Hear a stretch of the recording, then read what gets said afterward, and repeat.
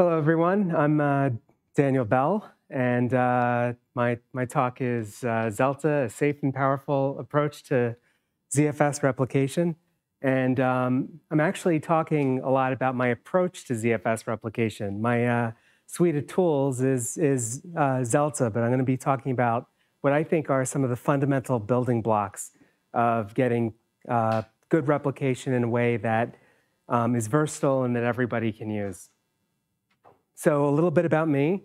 Um, I've been a, a, BSD sysadmin for uh, 25 years, and I stopped using BSD for about five or five or 10 of those, and uh, ended up about uh, um, in 2019. I wanted to try, uh, and this sort of became more of my pandemic project to see if I could get my MSP clients um, into more of a hybrid cloud environment, uh, save some money, use cloud resources more efficiently, and use hosted uh, resources more efficiently.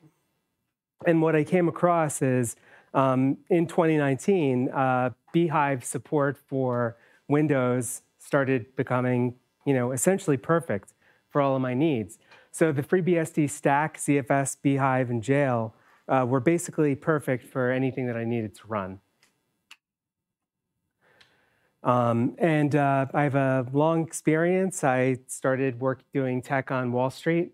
Um, so after that, I started my own thing in 2002. But uh, because of the type of clients that I have in New York City, um, I've had a focus on um, infrastructure efficiency because of the size of my small clients. Uh, needed everything to be as, uh, as you know, cheap and fast as possible. Uh, advanced storage and backups. All, all of my clients are obsessed with um, security and have uh, long retention policies. And then secu- security, privacy, and regulatory compliance. I did some work for uh, some Y2K plans back in the day. So uh, that, that's still, that, that type of work um, I, I still have to deal with. And ZFS helps me a lot with that. Um, I'm sure everybody here has probably, act, at least accidentally, installed ZFS at some point, but I'll go through a few things that I love about it. Um, so first of all, it's a first-class file system on FreeBSD for you know 15-ish years. I think since 2012, um, we've been able to boot. Um, so you know, it's a great it's a it's a great file system and uh, works perfectly well for for what we want and uh, is also perfect right out of the box. FreeBSD can, can make a pretty good uh, NAS or private cloud server. Um, it's an immense improvement over RAID uh, and also economical because we just use host bus adapters. We don't need to use um, expensive RAID cards. Um, we don't have, uh, you know, it's easier to expand. There's, there's a million things better about that that I'm sure you could hear about in different talks. And then an incredible hierarchical volume manager, which is incredible because I can say, you know, um, uh, set the, set a top data set to read only, and then all of the all of its children are automatically read only. Um, it's it's got some flexibility and power that you don't see in a lot of other file systems. And then most of what I'm going to be talking about today its robust uh, recovery and replication system. Um, and basically, if you're not doing block replication now, I mean, obviously there are a few situations uh, doing, doing, dealing with loose files or, or something like that. Sure, you want to use rsync or something like that. But 99% of the time, or at least 99% of the data out there, you want to do block replications. It's always going to be faster um, and uh, you know more reliable in a million different ways. um, but I have a complicated relationship with ZFS. We're still an item, but uh, there are a number of problems with it. Um, and, and most of these problems aren't in ZFS in particular. It's just the way it's, it tends to be deployed and a lot of the um, sort of culture around it. So I'm going to talk about some of the some of the issues that I feel like you're probably bound to run into when you're getting started with ZFS. Um, number one, breaking booting. Now this this is way too easy. It's it's just uh, well, here, this is, this is about the easiest possible replication that you can come up with. All right, I want to snapshot. I'm going to snapshot recursively. I'm going to snapshot my boot drive because that's where I put my stuff. And then I'm going to do a replication. I'm going to do a recursive replication. So that's ZFS send dash capital R. Most of you probably already know what's going to happen. We've replicated and we've created a time bomb. Um, the next time we reboot this system, what, which, which uh, it's going to replicate all those mount points and other properties of the zroot.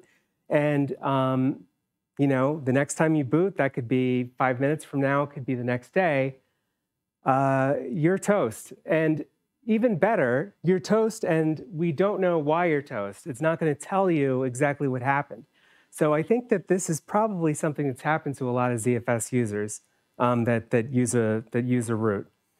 Of course, there's solutions to this problem, but um, the most intuitive action you can do, it could get you in trouble.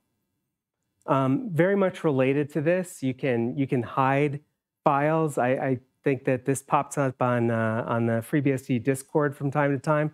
Why is FreeBSD hiding my files? FreeBSD isn't hiding your files. Um, what's happening is, uh, you know, depending on the, the, the timing of snapshots and what you do with mount points. And again, this is a this is another mount point related issue. Um, I've created a couple of files here called Precious, but I've taken a snapshot in between those two. Um, so I'm going to do a send, and of course I want to keep my properties, so I'm doing a ZFS send minus p. Now, which one's going to mount? I don't know.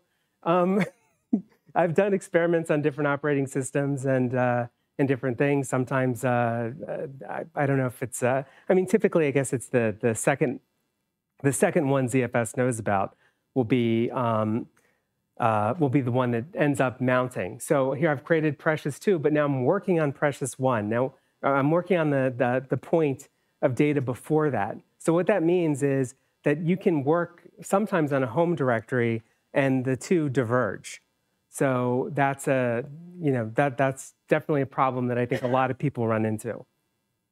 Um, and then here's my absolute favorite uh, problem with, uh, with ZFS. And this has more to do with the culture around it than with a problem with ZFS in particular.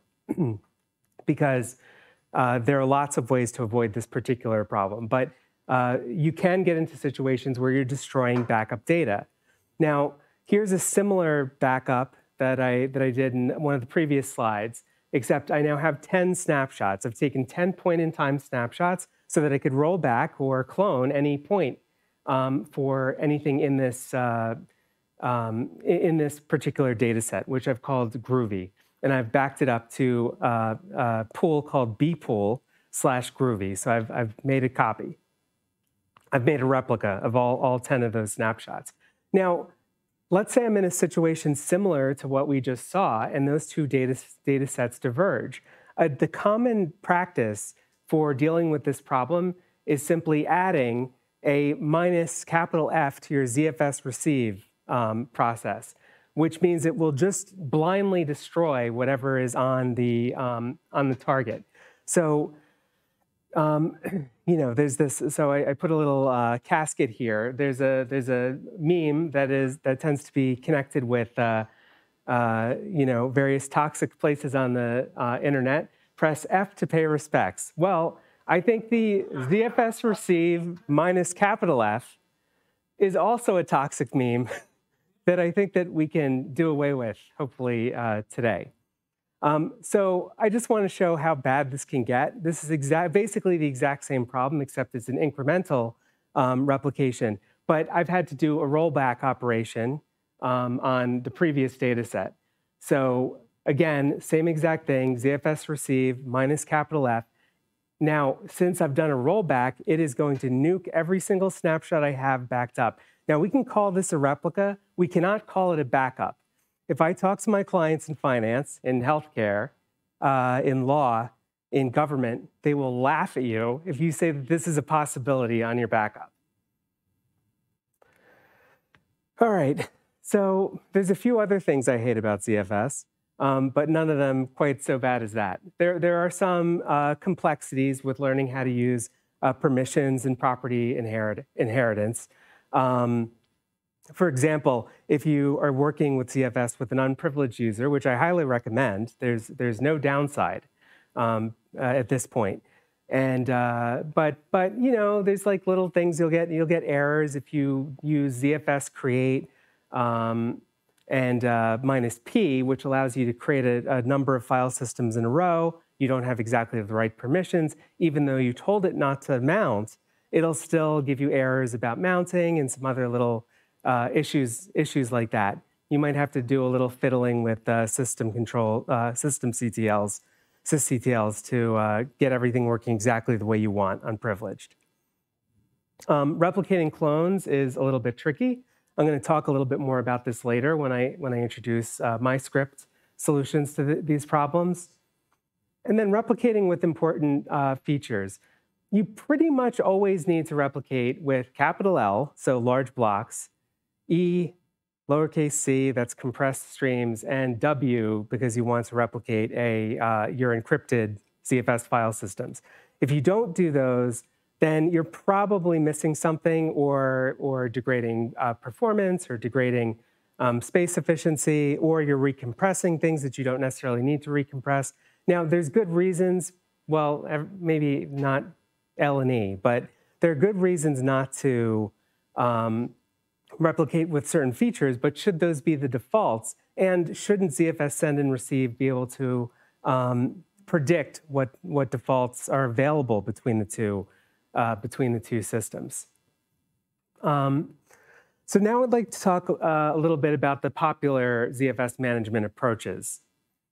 Um, now there's a, there's a pot for every lid for sure, um, but the, but you know, basically I want to build standard extensions. I don't want to replace training on ZFS. If you want to learn ZFS, learn ZFS. Um, learning another appliance or a, or a program, you're, you're, what I feel is you're, you're sort of diverting the work to, to learning this thing. I mean, that goes for my script too. And we'll, we'll talk about my approach and why I, um, I think I'd like to do things a little bit differently. Um, so appliances in cloud-backed ZFS can sometimes be inflexible and not cost efficient. Um, again, if you know what you're doing, you, you might need something like that.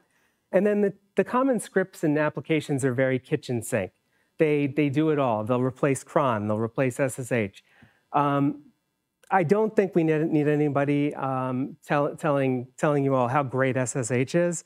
Um, but if you, if you use ControlMaster, if you use Proxy Jump, uh, it is an absolutely incredible streaming um, server. You don't need to you don't need to rewrite that. And under under some circumstances, I can think of reasons to to rewrite a a streaming server. For example, if you're skipping userland for a pipe, or using KTLS, or using other advanced features, there could be reasons to do that. But I don't think that the ZFS replication tools out there are actually uh, making use of these things. So we're adding some dependencies, we're complicating um, recovery, uh, and the internet is a chaotic place. So what I think we're looking for are, are tools that are extremely portable and provide uh, the basic building blocks of, uh, of replication.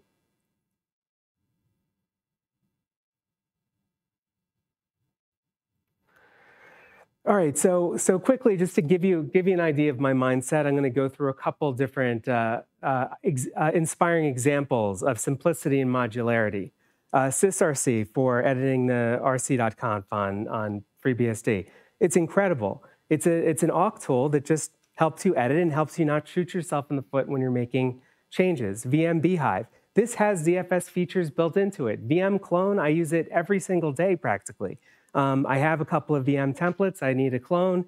Uh, it does it. It has a migration tool built right in. It's fantastic.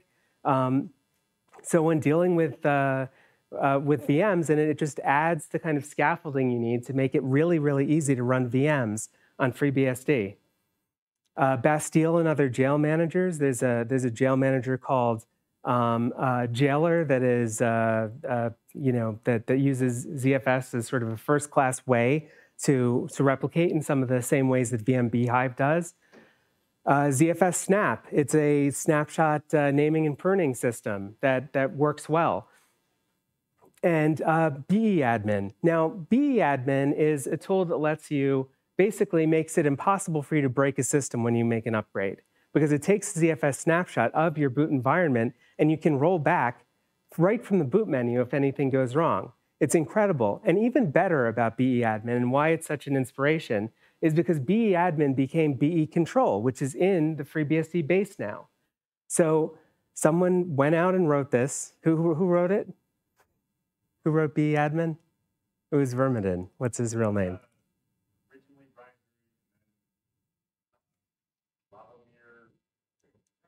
Okay, look up the wonderful authors of, of uh, the wonderful admins of. Uh...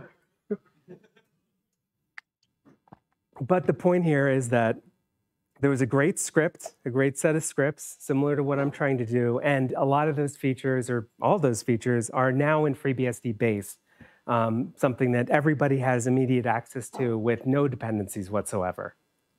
Um, so I'm trying to uh, get back to basics here, and here are the building blocks that I think every ZFS script should have, or ZFS itself should have upstream at some point.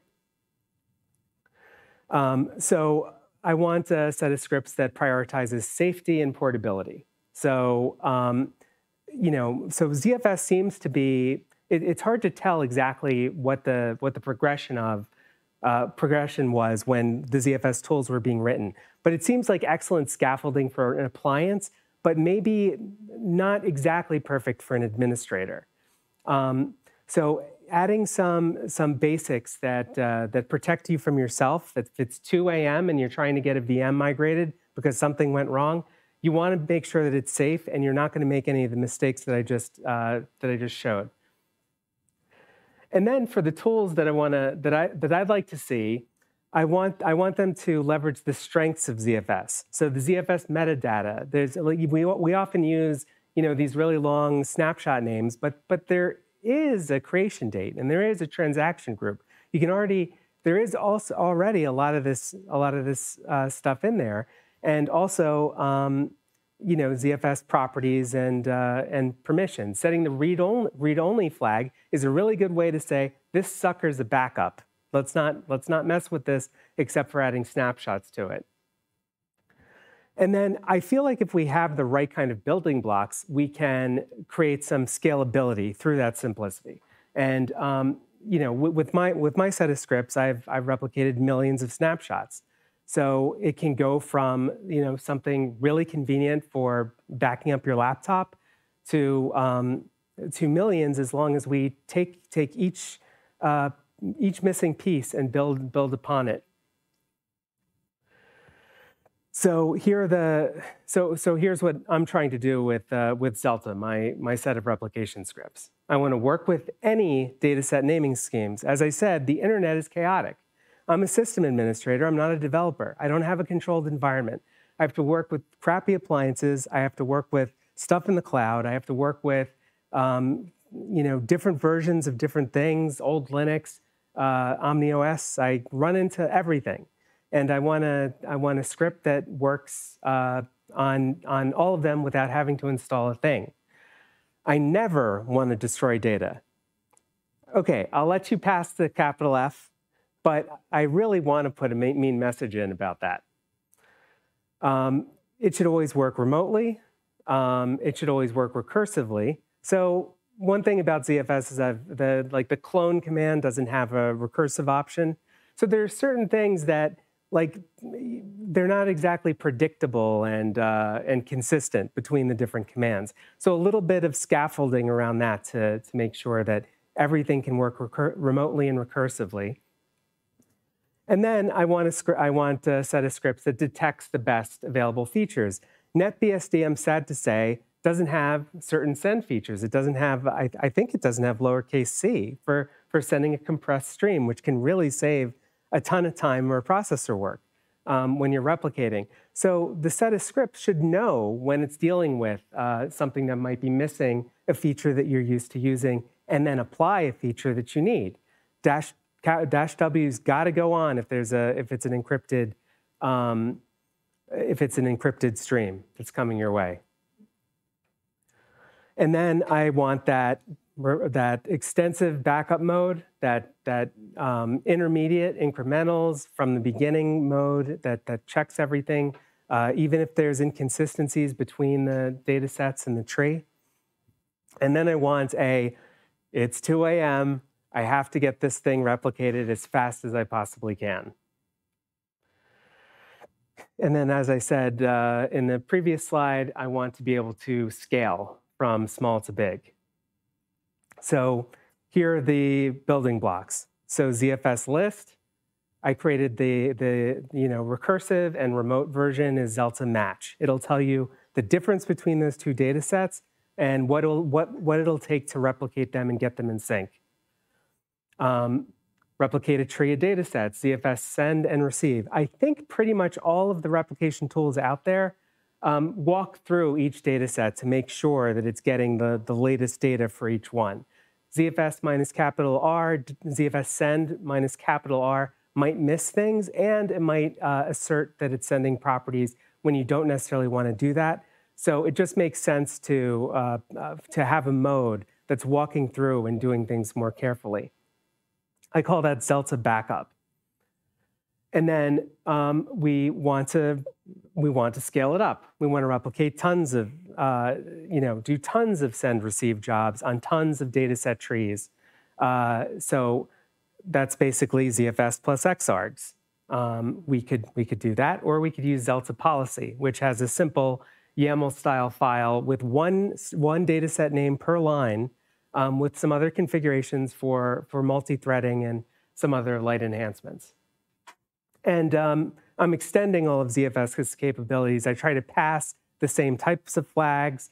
And um, here, here's the usage for the, uh, the basic Zelta command. So as you, uh, you, you might be able to identify the uh, backup and sync commands will, um, will accept the regular ZFS flags, though they might adjust them a little bit for dealing with the situation where they're walking through data sets rather than just syncing them. Um, and it'll take double dash options and, and all of that. We also have a Zelta clone, which, which I won't talk about because it's pretty simple. It's just a recursive uh, clone for recovery purposes or, um, or for backup inspection. So Zelta match. Now, I'm not going to read this whole screen, but basically there are different properties. Basically, does a snapshot exist? Um, and does the data set exist? And which is ahead and which is behind? Um, we can take a look at the two, the two snapshots and basically create nine flags, just like a Unix mode, that basically can communicate exactly what we can do to get these two data sets in sync. Like what happened? Is it new? Did we add a new, uh, new data set under the data set tree? Or did something go wrong? Was something behind? Um, did, did, we have to, did we have to roll back? Um, I'm introducing a, a concept, well, I mean, it's, it's not really introducing. Everybody does this. In order to recover without destroying data, we rename our data set and then we, um, and then we make a clone from, that, from the point in time that we want to recover from. The reason why we do this is because there could be precious data. So even if it's a ransomware attack, you don't know if you're rolling back too far and you're missing something important. So the game time decision of destroying any any any data is not the time that you're doing the the um, the, the, the recovery operation. So ZFS rollback, honestly, I don't really I don't really use it except for special applications where I, you know, where it's a fixed appliance that I intend to roll back. So here, based on, uh, I have a little chart here where based on the qualities of the two data set, I can signal whether they're up to date, uh, whether they need to replicate, or whether there's an exception that we have to deal with. So to get a ZFS list as fast as possible, we don't want to dig too far into the snapshot. You can about double the speed of your list, which really matters when you're dealing with, like I said, millions of snapshots. So we're just going to, to skip across the surface and get name, GUID, and the tra transaction group. That's enough information to get most of what we saw in the, in the previous slide. But it's a pain. Like if you want to do this manually and you got to compare uh, different names and uh, GUIDs, it can get hairy. When bookmarks get involved, it can get worse. Um, so I tried to boil it down to uh, you know a, a, simple a simple command. Of course, you can use a remote SCP-like uh, format to say uh, the the data set is somewhere else, and then provide a human readable output. Now, typically, what I what I do with ZFS Match is use this to pipe into my uh, my Zelta backup. Um, but you know, but you can get human readable output like what, what's going on. So for example, I have a, uh, a, a data set that was snapshotted on the source and replica. So we get a warning, uh, source and target have diverged. And in that case, we'll need a, an interesting way to, uh, to recover from that. Oh, by the way, with the Zelta backup, I also use it to compare my, my backup servers. So it'll walk through all of my, all of my data sets and say, okay, here are all the VMs that are not on one, one or the other server. So that's a really useful sanity check that I do on my fleet. So next up, uh, Zelta backup. So this is ZFS send and receive with a with a wrapper to to add some of that that safety and um, uh, you know the, those safety features that I was talking about before. So for the basics, we're going to mimic all of ZFS send and receives arguments. So if you, so for the unambiguous arguments, unfortunately, there's a lowercase s, which you know does different things based on what's going, um, based on ZFS send or receive, and uh, but but excuse me, if there's an unambiguous um, flag, then Zelta will accept it. It'll check for the best ZFS version features. It'll protect the new replicas by, um, by resetting the mounts, by inheriting the mounts. Um, it'll snapshot, but, but conditionally. If there's no written data, it won't do a snapshot.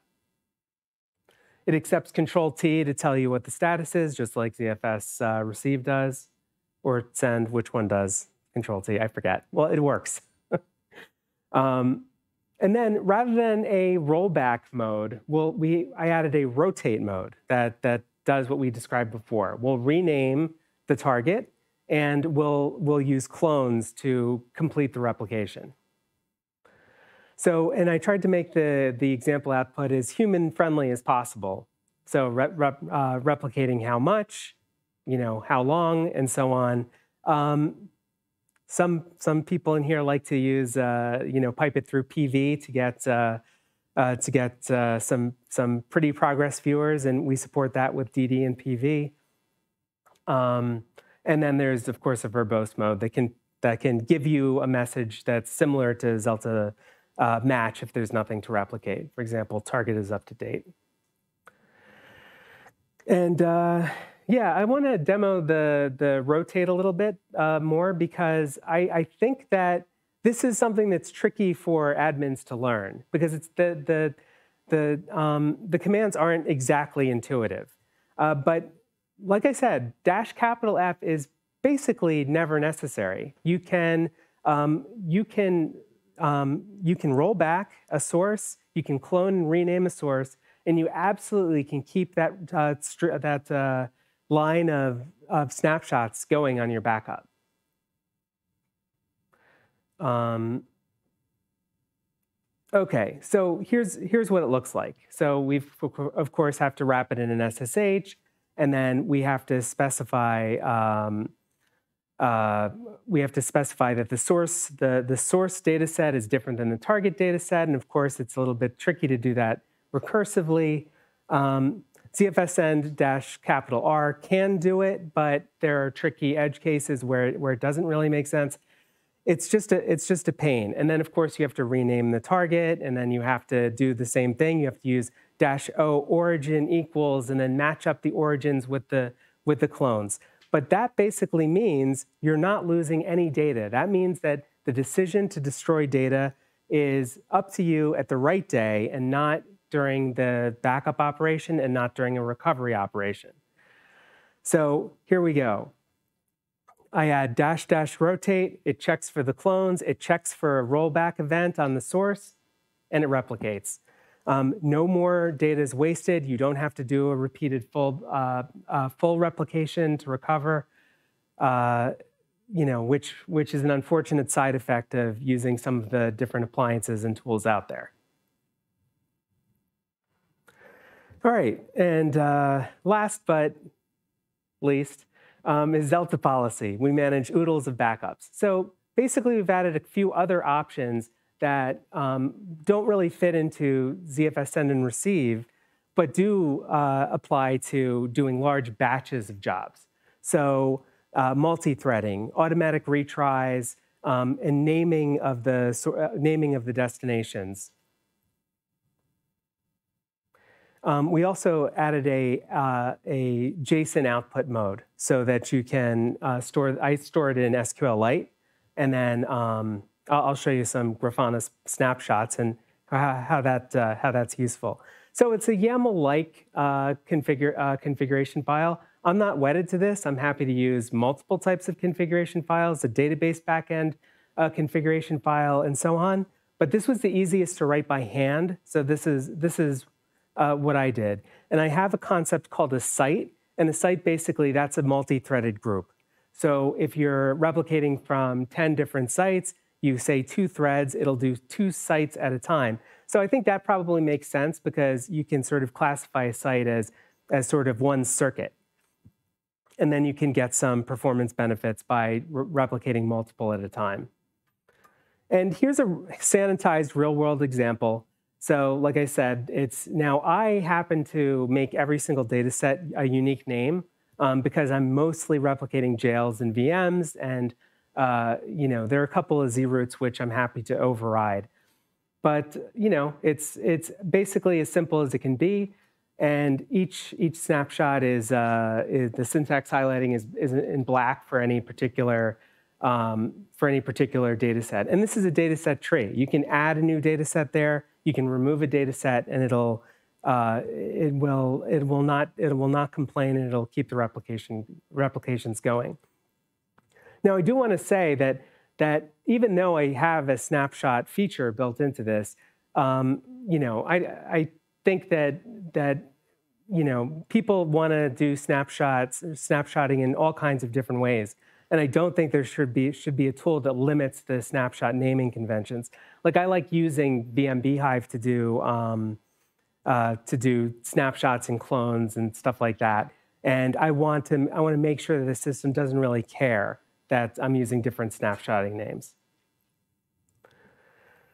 All right, and here's an example of, uh, you know, of, of a, a, subset of my uh, data that I've, uh, that I've collected. Um, and, and this is, the, this is Zelta policy output that I um, just take the JSON, I put it directly into SQLite, I load it into Grafana, and then I can get some really useful information out of this. Now, obviously, I can look for spikes like which client's eating up a ton of data from day to day for who knows what reason.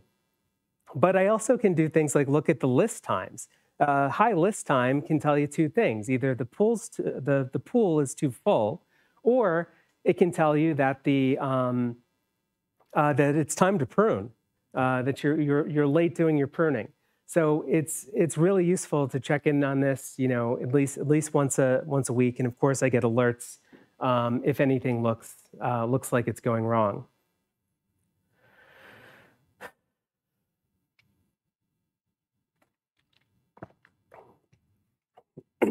so looking ahead, I don't know if these uh, ideas need to be upstream, but I think they should be standardized at least. So a concept of how to communicate an endpoint format. I mean, I think the most obvious format that we could use is something like, um, something like SCP. So user at host, colon pool. Now, of course, a colon, well, not of course, you might, you might know or might not know, a colon can actually be part of a ZFS name. So uh, you need to specify the host if, if your naming gets weird, but, but this is a pretty good and pretty intuitive way to describe an endpoint. Um, a, a, standardized way to communicate uh, whether whether two uh, data sets are replicas of each other, that the two are the two are related to each other. So like I was like I was mentioning a, a permission mode concept or I don't know a uh, you know a sync code or, or something like that. It would be nice to have a standard language that we had to say these are these are out of sync. This one's behind the other one. Um, I had trouble coming up with the uh, terminology that really worked for, for that, those kinds of ideas. And then smarter uh, detection of replication features. The best way I figured out how to tell if, uh, if one host had a ZFS send option versus another one is just get the usage output from, from the ZFS send command. Uh, zpool version doesn't quite give it to you because it, it might not tell you that dash lowercase c works or um, some other things. So it's really hard to predict which, you know, a machine that you just SSH'd into, you know, without, you know, basically crashing the ZFS send command, what, what, it, uh, what its capabilities are. So some smarter way to do that. If I'm wrong about any of that, that's great. Please correct me. I would love to, love to know how to do it better. Um, so yeah, and looking forward, I, I think uh, you know, Zelta is a is a useful script. I hope it has some some good ideas. You can see that there's uh, you know like Zelta endpoint will help explode the endpoint into a tabbed list. Uh, uh, Zelta send ops will show um, show the options between uh, between two hosts. Uh, but uh, yeah, I think it would it would I I think there's a there's a lot a lot of good we could have. I mean, I hear a lot of people saying, "Oh, I made you know." We all make our own ZFS replication tools. Yeah, great. Let's see them. Let's see how we can solve these things, uh, you know, together and get them get them upstream. And um, you know, the other thing that I think a lot of us can do in this room is is build our own appliances, make our own uh, make our own systems. Uh, you know, we, we know that, uh, that IX, they, they earn about $100 million in revenue. Uh, Datto makes about seven times that. Um, but these are small fries. The, uh, the smallest cloud, like a small cloud provider, Google Cloud Platform, makes about $10 billion a year on storage. Everybody needs storage. We all need to get our stuff somewhere safely. Um, so by collaborating together, we can, um, there's, there's a lot of good we can do. Uh, yeah, so that's it.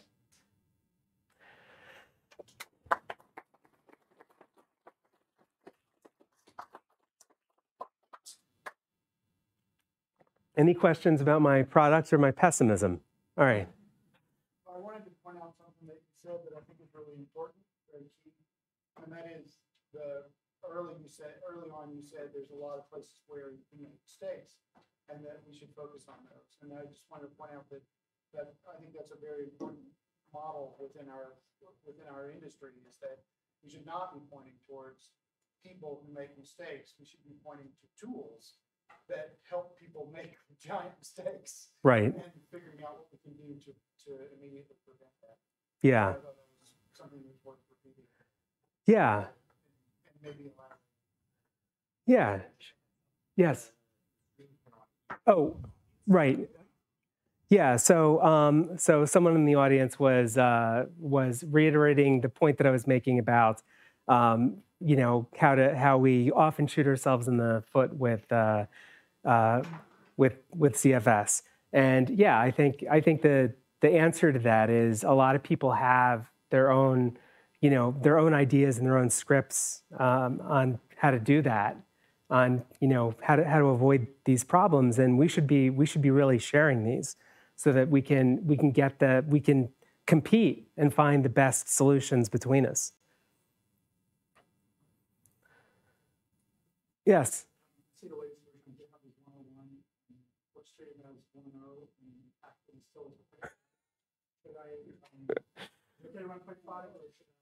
Uh, so okay, so the the question is that uh, the the versions of Zelta are, are absolutely in flux. Yeah, that's uh, so the the man pages are available in the latest main branch.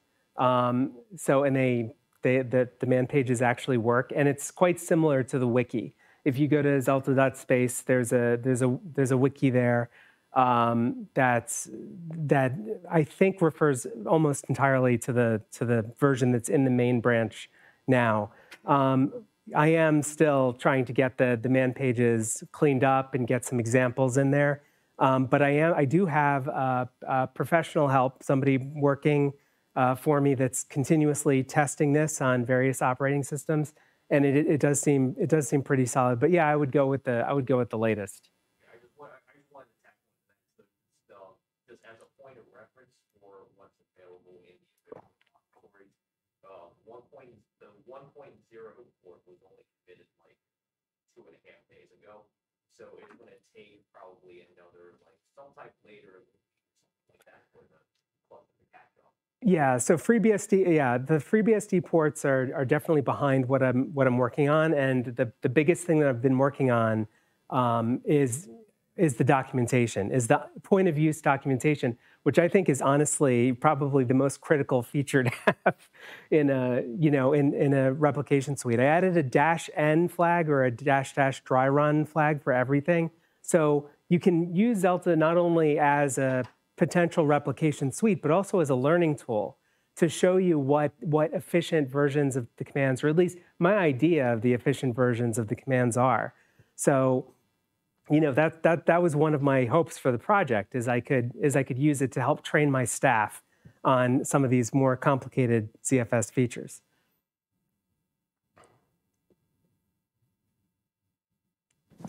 Sorry if I missed it, what OS are you supporting?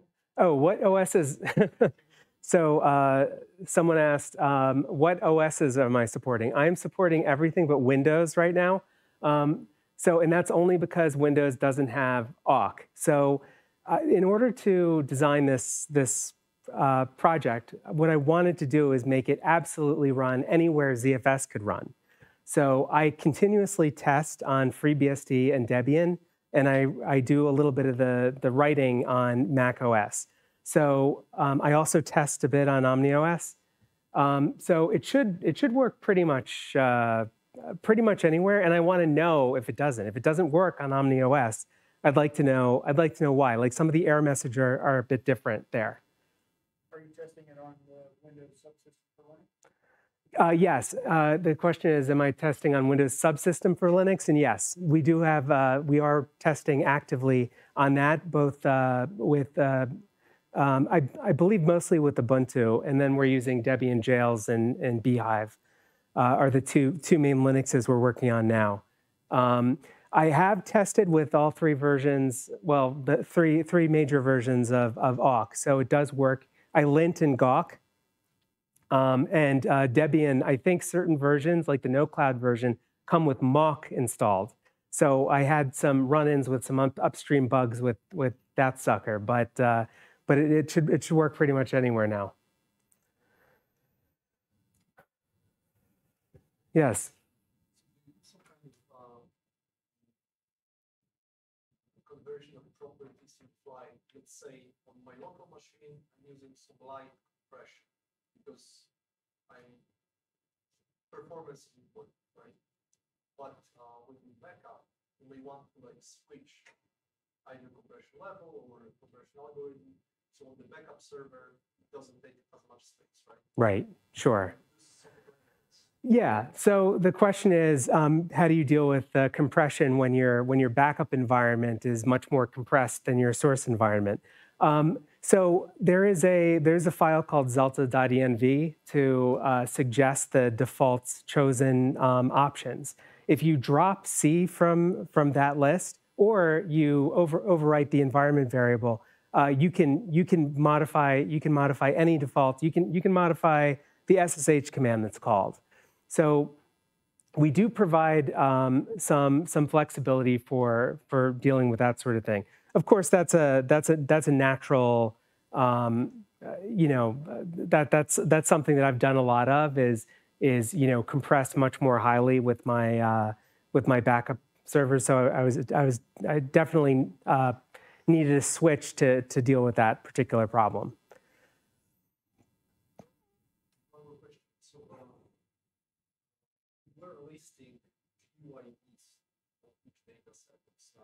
Right, because the source could be the source could be a bookmark.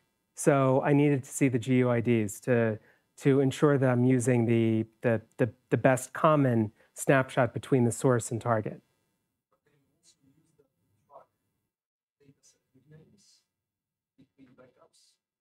Can I use GUIDs to track data set renames? I mean, I think you might know better than me. um,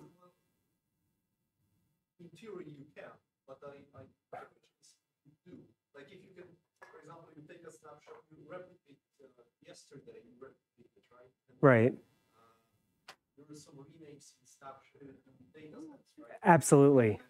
Yeah, that's that's a great that's a great point. I'm going to add that to issues. So the question is, so if a so if I'm if I'm uh, if I'm synchronizing a data set, some of its children might have had their uh, might have been renamed.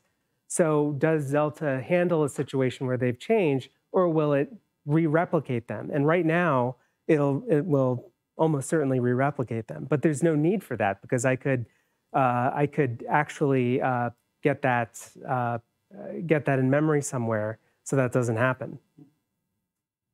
That's an interesting feature. I, I, I love that idea, and I think that uh, uh, you know, I mean, it's it's something that happens quite frequently. I have to rename, you know, or I want to rename it. I have a uh, I have a VM, and I called the drive boot, and it's not, you know, I added a different drive, and now it's not boot anymore. I want to rename it. I certainly don't want to re-replicate the whole thing.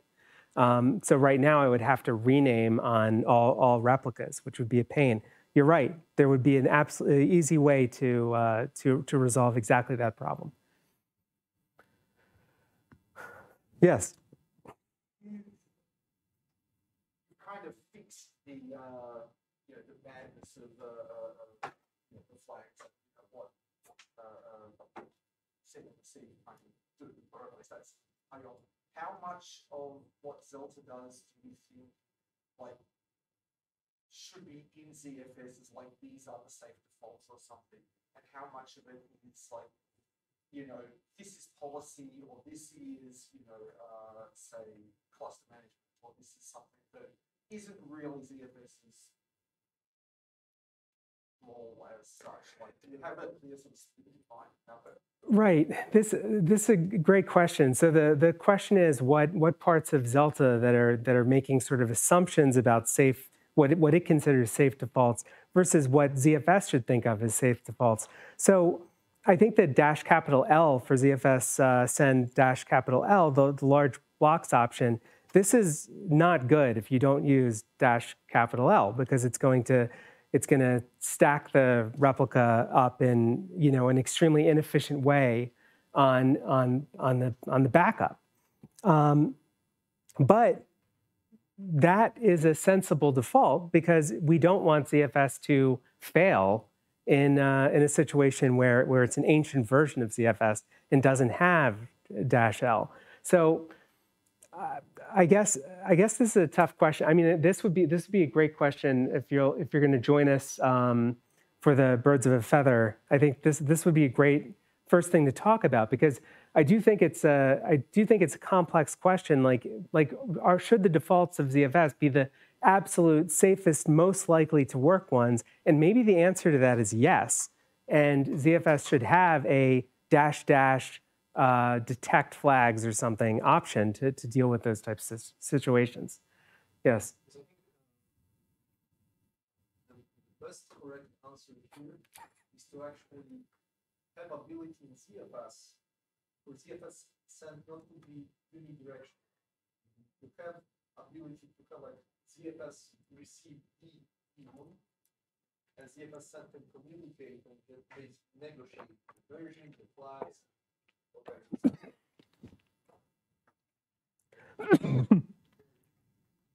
Excuse me. the the best answer was to have ZFS uh, be able to negotiate um, sort of critical options um, as part of its as part of its uh, as part of its replication, which I think uh, is that's a that's a pretty good solution. Yeah. Also, just something to you know some some consistent standard way to pull, but then I guess both of these both of these solutions do have the problem of uh, you know what do we do about what do we do about older versions, which you know as long as there are appliances, we're gonna we're gonna have to get stuff off of them.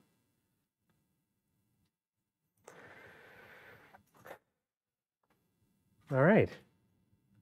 Anything else? I mean, we'll probably have a lot more ZFS to talk about, but we can do that in 10 minutes, I think. Yeah. All right. All right, let's do it. Thanks.